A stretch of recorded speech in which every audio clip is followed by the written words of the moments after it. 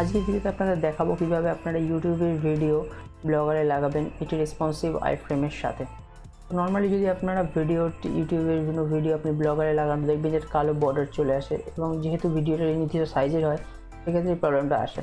আজকে দেখাবো যে কীভাবে আপনি একটি রেসপন্সিভ আই আইফ্রেম বানাবেন। আসুন দেখে নিন ভিডিওটা। আর আপনি যদি আমাদের চ্যানেলটি সাবস্ক্রাইব না করে থাকেন, তাহলে অবশ্যই ইউটিউব চ্যানেলটি সাবস্ক্রাইব করে নিন। তো সবার প্রথমে আপনি ওয়েবসাইটটিতে যান এই ওয়েবসাইটটির লিঙ্ক ভিডিও ডেসক্রিপশনে দেওয়া আছে।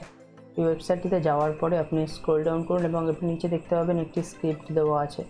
এই স্ক্রিপ্টটি কপি করে নিন এবং তারপরে আপনি আপনার ব্লগার সাইটে চলে আসুন।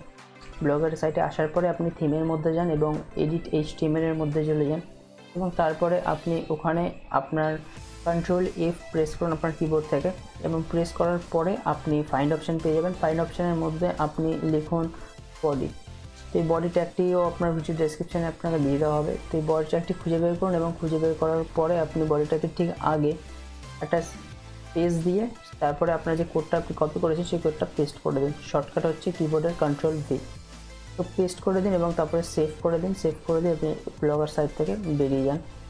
তো এরপরে আপনি যে ওয়েবসাইটে গেছিলেন ভিডিও ডিসক্রিপশনে যেটা লিঙ্ক দেওয়া আছে, সেই ওয়েবসাইটে আবার যান এবং নিচে আরেকটি কোড পাবেন।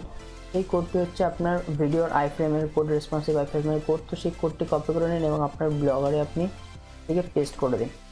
এবং আপনি ইউটিউবে চলে যান, ইউটিউবে আপনি যে ভিডিওটার এখানে ব্লগারে লাগাতে চাইছেন, সেই ভিডিওটাতে আপনি এলবিট অপশানে ক্লিক করুন এবং আপনি যে কোডটা পাবেন, সেই কোডটা আপনি ব্লগারে আবার পেস্ট করুন এবং সেখান থেকে আপনার ইউটিউবের যে লিঙ্কটা আছে বা ইউটিউবের যেটুখানি আপনার লিঙ্ক সেই লিঙ্কটাকে কপি করে নিয়ে হ্যাশের বদলে বসিয়ে দিন এবং হ্যাশের বদলে বসিয়ে দেওয়ার পরে আপনার বাকি ইউটিউবে যেটা আপনি কপি করে নিয়েছেন সেটা কেটে দিন।